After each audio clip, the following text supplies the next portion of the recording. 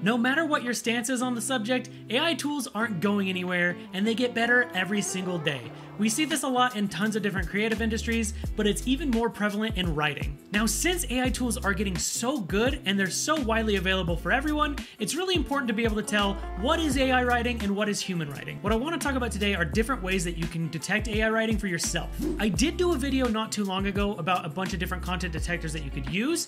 Check out that video if you want, it goes over some of the best tools, but here I'm going to show you exactly how they work. Now, I did mention that AI tools are getting better every day, but they're far from perfect. Now, the tools themselves can be absolutely fantastic and can really help boost your creativity and help you get out of a rut if you're stuck, especially when you're writing long articles. But they're not always perfect, and if you take raw AI copy and don't change any of it, it can be pretty easy to detect what is AI and what's human writing. One of the easiest ways that you can detect AI writing yourself is to look at the tone of the writing itself. AI content can be extremely inconsistent with its tone and style. While it may have a lot of information and be able to help you out, it's not always going to follow the same tone that a writer would have. And really, that's another big key giveaway is just the lack lack of personality. Most human writers are going to have a style and incorporate their own verbiage when they're writing things, but that's just not something that every AI tool is going to do.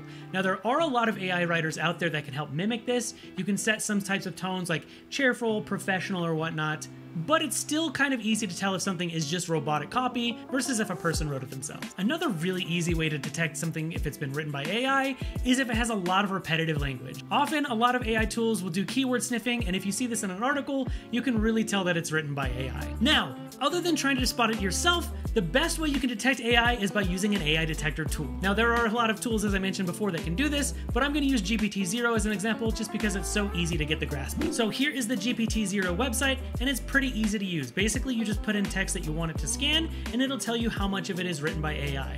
It'll give us some prompts here that we can test. So we can do a test here with a GPT-3 prompt. It'll throw in a prompt for us, and let's get results. That's all you have to do. And it's going to tell us how likely it is to be written by AI.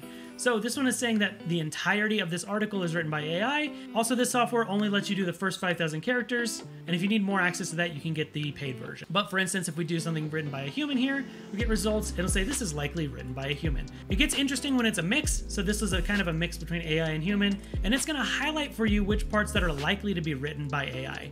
It's very quick and easy to use. It runs through all of its AI detection algorithms, kind of snips out for some of the stuff we talked about earlier, and helps you decide if something is AI or written by a person. You can also choose a file here if you want to upload a script of something that you have or a hard copy that you have as well, and then you can see if it's written by AI that way. It's pretty easy and straightforward, and that's really all there is to using these tools. So there you have it. Like I said before, AI is not going anywhere, especially when it comes to writing. They make people's lives so much easier, so it's becoming even more important every single day to be able to decide what is written by a human and what's not. I appreciate you watching this video, it means a lot. Before you go though, like this video if you did, and leave a comment letting us know what you think of AI writing. It's a very interesting subject, and we'll see you in the next video.